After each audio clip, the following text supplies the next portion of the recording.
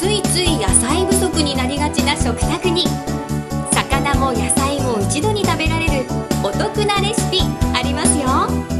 アジと野菜のサラダをご紹介します。材料はご覧の通りです。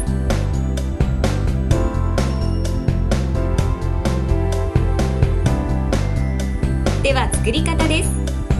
まずレタスは適当な大きさにちぎります。人参はピーラーで皮を剥くように帯状に切ります。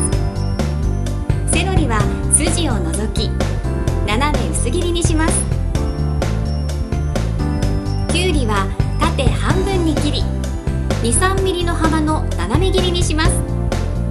アジは3枚におろして塩コショウを振り軽く薄力粉をまぶします。薄力粉をまぶすことでアジから出る水分を吸収し旨味が溶け出すのを防げますよ。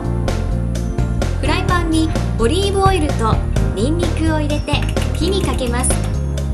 香りが出たらアジを入れて両面をこんがりと焼きます。食べやすい大きさに切りましょう。ボウルにレタス人参セロリに盛ります。アジをのせましょう。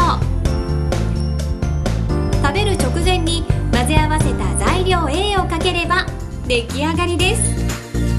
アジのうまみとさっぱりドレッシングで野菜がしっかり食べられますよ。